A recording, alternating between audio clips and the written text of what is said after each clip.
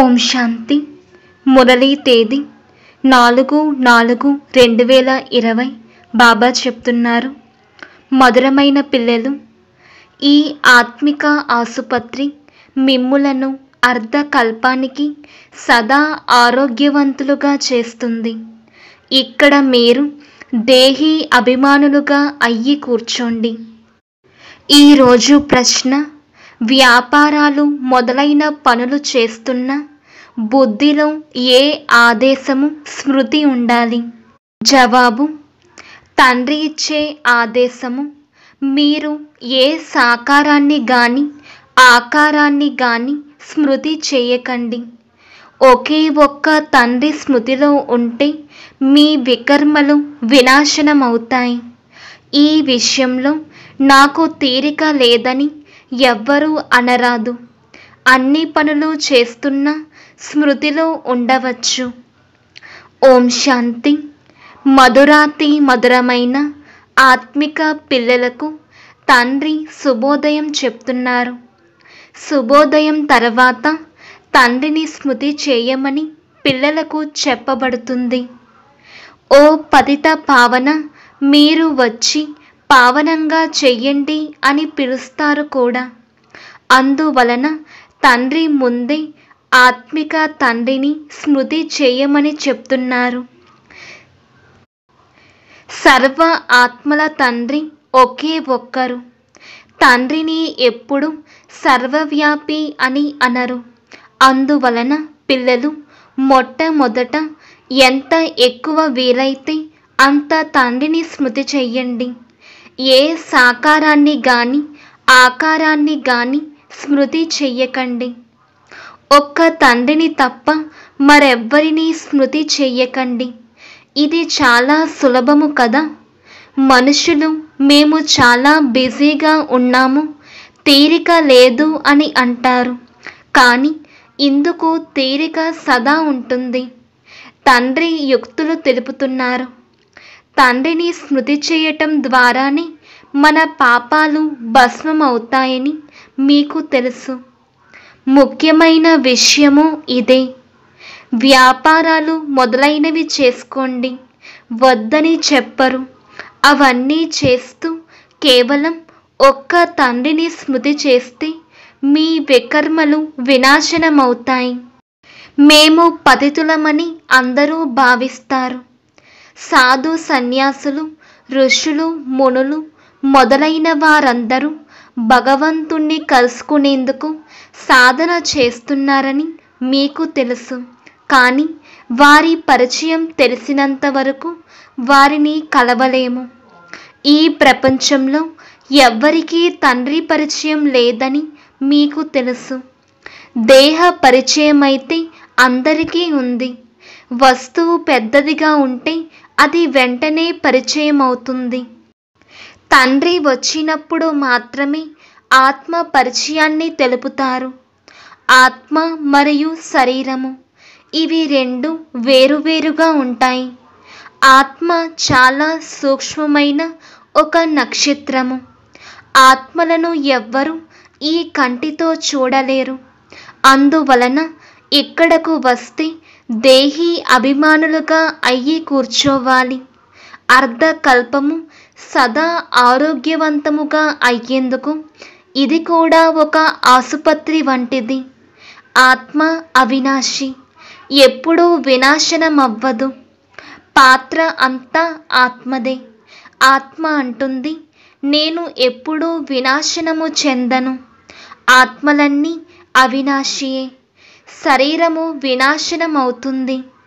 ఆత్మలైన మనము అవినాశి అని ఇప్పుడు మీ బుద్ధిలో బాగా కూర్చున్నది.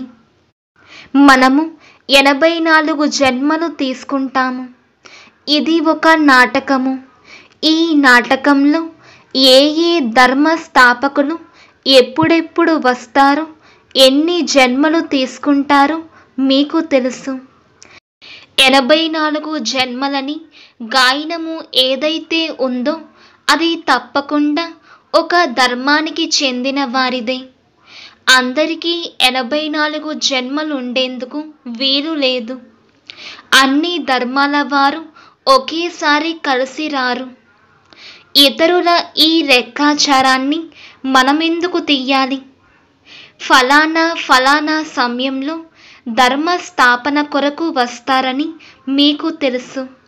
తర్వాత ఆ ధర్మము వృద్ధి చెందుతుంది. అందరూ సతో ప్రధానము నుండి తమో ప్రధానంగా అయ్యే తీరాలి. ఈ ప్రపంచము తమో ప్రధానంగా అయినప్పుడు తండ్రి వచ్చి సతో ప్రధాన సత్యుగమును తయారు చేస్తారు. భారత వాసులైన మనము మాత్రమే నూతన ప్రపంచంలో రాజ్యపాలన చేస్తామని ఇతర ధర్మములేవి ఉండవని పిల్లలైన మీకు తెలుసు. పిల్లలైన మీలో కూడా ఎవరు ఉన్నత పదవి తీసుకుంటారో వారు స్మృతిలో ఉండే పురుషార్థము చేస్తారు. అంతేకాక బాబా మేము ఇంత సమయము మీ స్మృతిలో ఉన్నామని కూడా వ్రాస్తారు. చాలామంది సిగ్గు వలన పూర్తి సమాచారం తెలుపరు. బాబా ఏమంటారో అని భావిస్తారు. కానీ తెలిసిపోతుంది కదా? పాఠశాలల్లో టీచర్లు మీరు బాగా చదవకుంటే ఫెయిల్ అవుతారని విద్యార్థులకు తెలుపుతారు కదా? లౌకిక తల్లిదండ్రులు కూడా చదువును బట్టి ఇది చాలా గొప్ప పాఠశాల అని తెలుసుకుంటారు కదా? ఇక్కడ నెంబర్ వారుగా కూర్చోబెట్టారు. కానీ నెంబర్ వారుగా ఉంటారని బుద్ధిలో అర్థం చేసుకుంటారు. తండ్రి మంచి మంచి పిల్లలను సేవ కొరకు ఎక్కడికో పంపుతూ ఉంటారు. వారు వెళ్ళిపోతే ఇతరులు మాకు మహారథులు కావాలని బాబాకు వ్రాస్తారు. అనగా మాకంటే వారు చురుకుగా తెలివిగల వారిగా ప్రసిద్ధంగా ఉంటారని భావిస్తారు కదా? నెంబర్ వారుగా అయితే ఉంటారు కదా? ప్రదర్శనీలో కూడా అనేక రకాలైన వారు వస్తారు. కనుక వచ్చిన వారిని పరిశీలించేందుకు గైడ్లు కూడా ఉండాలి. వచ్చిన వారు ఎటువంటి వారు? లోనికి ఆహ్వానించే వారికి తెలుస్తుంది. ఫలానా వారు వీరికి సేవ చేయమని సూచనను ఇవ్వాలి. వీరు ప్రథమ శ్రేణి ద్వితీయ శ్రేణి తృతీయ శ్రేణి అని మీరు కూడా అర్థం చేసుకోగలరు. అక్కడ అందరికీ సేవ చేసే తీరాలి. ఎవరైనా గొప్పవారు వస్తే వారిని అందరూ తప్పకుండా గౌరవిస్తారు. ఇది ఒక నియమము. తండ్రి లేక టీచర్ తరగతిలో విద్యార్థులను మహిమ చేస్తారు. ఇది కూడా అన్నిటికంటే గొప్ప గౌరవము. పేరు ప్రసిద్ధము చేయు పిల్లలను మహిమ చేస్తారు లేక గౌరవిస్తారు. వీరు ఫలానా ధనవంతులు ఫలానా ధర్మానికి చెందినవారు అని తెలపడం కూడా వారిని గౌరవించడమే కదా. అత్యంత ఉన్నతమైన వారు భగవంతుడని ఇప్పుడు మీకు తెలుసు. భగవంతుడే అత్యంత ఉన్నతులని వారు కూడా తప్పకుండా అంటారు. కానీ వారి జీవిత చరిత్ర తెలుపమంటే సర్వవ్యాపి అని అంటారు. ఒక్కసారిగా అగౌరవపరుస్తారు. అత్యంత శ్రేష్టమైన వారు భగవంతుడని వారు మూలవతన వాసులని ఇప్పుడు మీరు అర్థం చేయించగలరు. సూక్ష్మవతనంలో ఉండేది దేవతలు. ఇక్కడ ఉండేవారు మనుషులు. అత్యంత ఉన్నతమైన వారు భగవంతుడు నిరాకారులు. వజ్ర సమానంగా ఉన్న మనమే మళ్ళీ గవ్వ సమానంగా అయ్యామని. కానీ భగవంతుణ్ణి మీకంటే ఎక్కువగా నీచ స్థితికి తీసుకెళ్ళారు. వారి పరిచయం తెలియనే తెలియదు. భారత వాసులైన మీకు మాత్రమే పరిచయం లభిస్తుంది. ఆ తర్వాత పరిచయం తగ్గిపోతుంది. ఇప్పుడు మీరు అందరికీ తండ్రి పరిచయమును ఇస్తూ ఉంటారు. అనేక మందికి తండ్రి పరిచయం లభిస్తుంది.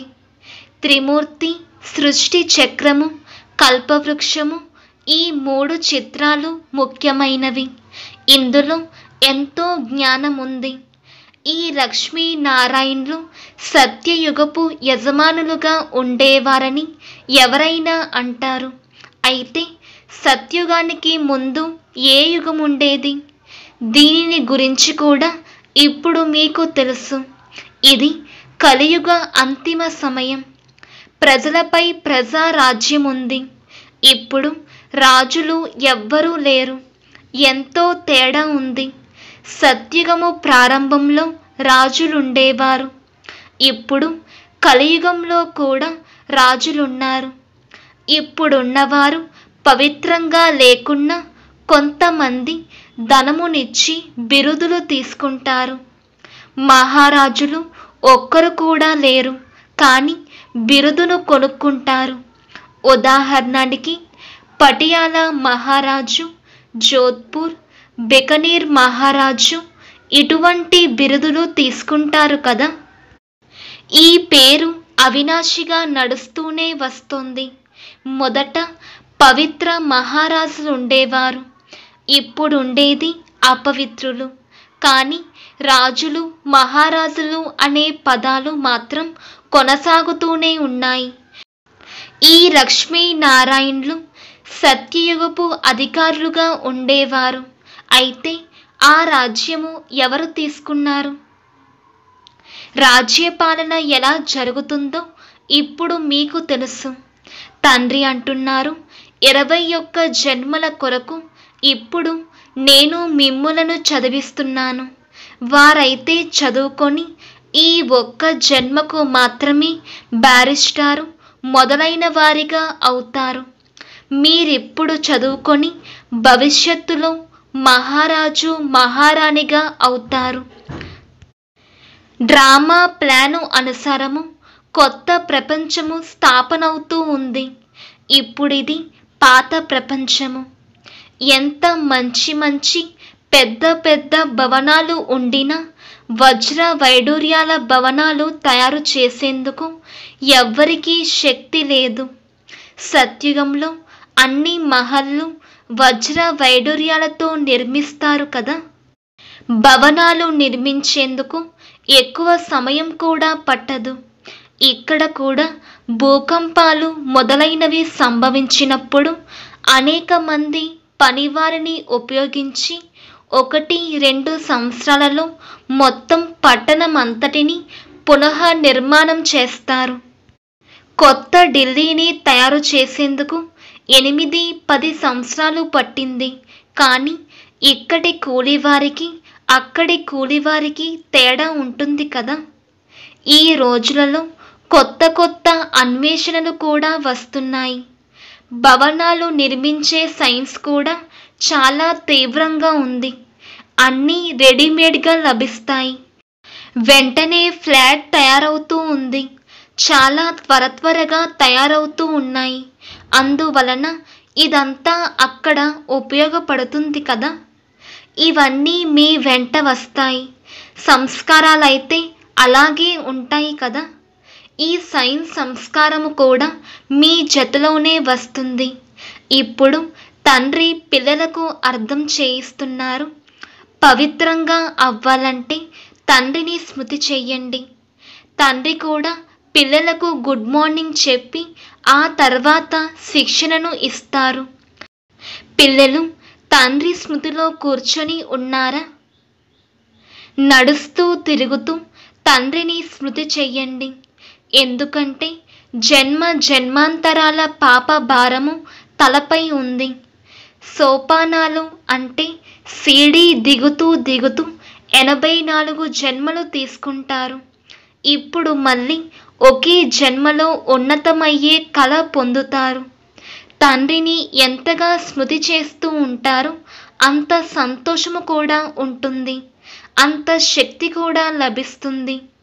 ముందు నెంబర్లో ఉన్న చాలామంది పిల్లలు కూడా స్మృతి చెయ్యరు. భలే జ్ఞానములో తీవ్రంగా ఉంటారు. కానీ స్మృతి యాత్ర చెయ్యనే చెయ్యరు. తండ్రి ఏమో పిల్లలను మహిమ చేస్తారు. ఈ బ్రహ్మ కూడా నెంబర్ వన్లో ఉన్నారు. అందువలన తప్పకుండా శ్రమ కూడా చేస్తూ ఉంటారు కదా. సదా శివబాబాయే అర్థం చేయిస్తున్నారు. భావిస్తే బుద్ధియోగము అక్కడ తగులుకొని ఉంటుంది. ఇతను కూడా నేర్చుకుంటున్నాడు కదా. అయినా శివబాబా స్మృతి చెయ్యమని చెప్తూనే ఉంటారు. ఇతరులకు అర్థం చేయించేందుకు చిత్రాలు ఉన్నాయి. భగవంతుడిని ఒక నిరాకారుని మాత్రమే అంటారు. వారు వచ్చి శరీరాన్ని ధరిస్తారు. భగవంతుని పిల్లలైన ఆత్మలందరూ సోదరులే. ఇప్పుడు ఈ శరీరంలో విరాజమానమై ఉన్నారు. అందరూ అకాలమూర్తులే. ఇది అకాలమూర్తి సింహాసనము. అకాల సింహాసనం అంటే ప్రత్యేకంగా ఏదో ఒక వస్తువు కాదు. ఇది అకాలమూర్తి కూర్చొనే సింహాసనము. బురుకటి మధ్య ఆత్మ విరాసమానమై ఉంటుంది. దీనిని అకాల అని అంటారు. అకాల అనగా అకాలమూర్తి సింహాసనము. ఆత్మలన్నీ అవినాశి. చాలా సూక్ష్మంగా ఉంటాయి. తండ్రి ఏమో నిరాకారులు. వారు తన సింహాసనాన్ని ఎక్కడ నుండి తెస్తారు? తండ్రి అంటున్నారు ఇది నా సింహాసనము కూడా అవుతుంది. ఎందుకంటే నేను వచ్చి ఈ సింహాసనాన్ని అప్పుగా తీసుకుంటాను. కావున ఈ సింహాసనము నాది కూడా అవుతుంది. నేను వచ్చి బ్రహ్మ సాధారణ వృద్ధ శరీరంలోకి అకాల సింహాసనంపై కూర్చుంటాను. ఆత్మలందరికీ సింహాసనము ఈ బ్రుకిటి అని మీరు తెలుసుకున్నారు. మనుషుల గురించి మాత్రమే తెలుపుతున్నాను. జంతువుల విషయము కాదు. మొదట జంతువుల కంటే హీనంగా ఉన్న మనుషులు బాగుపడాలి. ఎవరైనా జంతువుల విషయం అడిగితే మొదట మీరు బాగుపడండి అని చెప్పండి. సత్యుగంలో అయితే జంతువులు కూడా చాలా ఫస్ట్ క్లాస్గా ఉంటాయి. చెత్త చెదారము ఉండనే ఉండదు. రాజ మహల్లులో పావురాలు మొదలైనవి మురికి చేస్తే శిక్షిస్తారు. కొంచెము కూడా చెత్త మురికి ఉండదు. అక్కడ చాలా గమనం ఉంటుంది. కాపలాదారులుంటారు. జంతువులు పక్షులు ఎప్పుడూ లోపలికి చొచ్చుకొని రాకుండా గమనిస్తూ ఉంటారు. చాలా శుభ్రంగా ఉంటారు. లక్ష్మీ నారాయణల మందిరంలో కూడా ఎంతో శుభ్రత ఉంటుంది. పార్వతీ శంకరుల మందిరాలలో పావురాలు కూడా చూపిస్తారు. అందువలన అవి ఆ మందిరాలకు తప్పకుండా పాడు చేస్తూ ఉంటాయి. శాస్త్రాలలో కట్టుకథలు అనేకము వ్రాసేశారు. ఇప్పుడు తండ్రి పిల్లలకు అర్థం చేయిస్తున్నారు. వారిలో కూడా కొంతమంది మాత్రమే ధారణ చేస్తారు. మిగిలిన వారికి ఏమాత్రము అర్థము కాదు. తండ్రి పిల్లలకు ఎంతో ప్రీతిగా అర్థం చేయిస్తున్నారు. పిల్లలు చాలా చాలా మధురంగా అవ్వండి. నోటి ద్వారా ఎల్లప్పుడూ రత్నాలై వెలువడుతూ ఉండాలి. మీరు జ్ఞాన యోగులు అంటే రూప్ బసంత్ మీ నోటి నుండి రాళ్ళు వెలువడరాదు గొప్పతనమంతా ఆత్మదే. నేను ప్రెసిడెంట్ను నేను ఫలానా ఇది నా శరీరము పేరు అని ఆత్మ చెప్తుంది. అయితే ఆత్మలు ఎవరి సంతానము? ఒకే ఒక పరమాత్ముని సంతానము. కనుక వారి నుండి తప్పకుండా వారసత్వం లభిస్తూ ఉంటుంది కదా? అటువంటి పరమాత్మ సర్వవ్యాపి ఎలా అవుతారు? మనకు కూడా మొదట తెలిసేది కాదని మీకు తెలుసు. ఇప్పుడు మీ బుద్ధి ఎంతో వికసించింది. మీరు ఏ మందిరాలకు వెళ్ళినా ఇవన్నీ అసత్య చిత్రాలని భావిస్తారు. పది భుజాలు ఉన్నవారు ఏనుగు తొండము కలిగిన వారు ఎవరైనా ఉంటారా? ఇదంతా భక్తి మార్గంలోని సామాగ్రి. వాస్తవానికి ఒక్క శివబాబాను తీసుకుంటారని మీ బుద్ధిలో ఉంది. ఆ తర్వాత అత్యంత శ్రేష్టమైన తండ్రి వచ్చి అందరికీ సద్గతిని ఇస్తారు. వారికంటే గొప్పవారు మరెవ్వరూ లేరు. ఈ జ్ఞాన విషయాలను మీలో కూడా నెంబర్ వారుగా ధారణ చేస్తారు. ధారణ చెయ్యలేకుంటే ఇక దేనికి పనికొస్తారు? కొంతమంది అందులకు ఊతకర్రగా అయ్యేందుకు బదులు వారే అందులుగా అవుతారు. పాలు ఇవ్వని ఆవులను గోశాలలో ఉంచుతారు. ఇక్కడ కూడా కొంతమంది జ్ఞానము అనే పాలు ఇవ్వలేరు. పురుషార్థమే చెయ్యని పిల్లలు చాలామంది ఉన్నారు. ఎవరికైనా కళ్యాణం చెయ్యాలని భావించరు. వారి భాగ్యముపై వారికి ఏ గమనము ఉండదు. ఏం లభిస్తే అదే చాలు మంచిది అని అనుకుంటారు. అందువలన తండ్రి వారి భాగ్యములో లేదని అంటారు. సద్గతిని పొందేందుకు మీరు పురుషార్థం చెయ్యాలి. ఆత్మాభిమానులుగా అవ్వాలి. తండ్రి అత్యంత ఉన్నతులు కానీ పతిత ప్రపంచంలో ఎటువంటి పాత శరీరంలో వస్తారో చూడండి. వారిని పిలిచేదే పతిత ప్రపంచంలో. రావణుడు పూర్తిగా భ్రష్టులుగా చేసినప్పుడు తండ్రి వచ్చి శ్రేష్టంగా తయారు చేస్తారు. మంచి పురుషార్థము చేయువారు రాజా రాణులుగా అవుతారు. పురుషార్థము చేయని వారు పేదవారిగా అవుతారు. అదృష్టంలో లేకుంటే పురుషార్థము చెయ్యలేరు కొంతమంది చాలా మంచి భాగ్యాన్ని తయారు చేసుకుంటారు. ప్రతి ఒక్కరూ స్వయం ఎంత సేవ చేస్తున్నారో చూచుకోగలరు. అచ్చా! మధురాతి మధురమైన అపురూపమైన పిల్లలకు మాతా పిత బాబ్దాదాల ప్రియస్మృతులు మరియు గుడ్ మార్నింగ్. ఆత్మిక పిల్లలకు ఆత్మిక తండ్రి నమస్తే. ధారణ కొరకు ముఖ్య సారము. ఒకటి జ్ఞాన యోగులు అంటే రూప బసంతులుగా అయ్యి సదా నోటి నుండి రత్నాలే వస్తూ ఉండాలి. చాలా చాలా మధురంగా తయారవ్వాలి. ఎప్పుడు రాళ్ళు అంటే కఠిన వచనాలు వెలువడరాదు. రెండు జ్ఞాన యోగాలలో చురుకుగా తీవ్రంగా తయారై స్వంత కళ్యాణము ఇతరుల కళ్యాణం చెయ్యాలి. మీ ఉన్నత భాగ్యమును తయారు చేసుకొని పురుషార్థము చెయ్యాలి. అందులకు ఓతకర్రగా అవ్వాలి. ఈరోజు వరదానము మాయ మరియు విజ్ఞానం నుండి సురక్షితంగా ఉండి బాప్దాద ఛత్రఛాయకు అధికారి భవ. విస్తారము ఎవరైతే బాప్దాదాకు అపురూపమైన పిల్లలుగా ఉన్నారు. వారికి బాబ్దాదా ఛత్రఛాయ అధికార రూపంలో ప్రాప్తి అవుతుంది. ఆ ఛత్రఛాయలోకి వచ్చేందుకు మాయకు శక్తి లేదు. వారు సదా మాయపై విజయులుగా అవుతారు. ఈ స్మృతి అనే ఛత్రఛాయ అన్ని విజ్ఞాల నుండి సురక్షితంగా చేస్తుంది.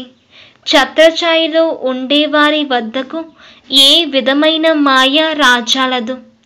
ఛత్రఛాయలో ఉండేవారికి అతి కష్టమైన విషయం కూడా సహజంగా అవుతుంది.